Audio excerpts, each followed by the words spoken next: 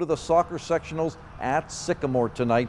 49 challenging degrees at game time. Number one in the area, Moeller put pressure on Lakota East all night long. 18-20 mark. Jordan uh, Walter chips across inside. Nicholas Peters follows, and the Crusaders are off and running.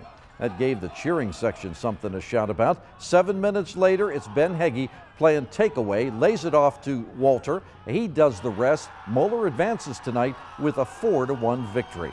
It's the final Friday night.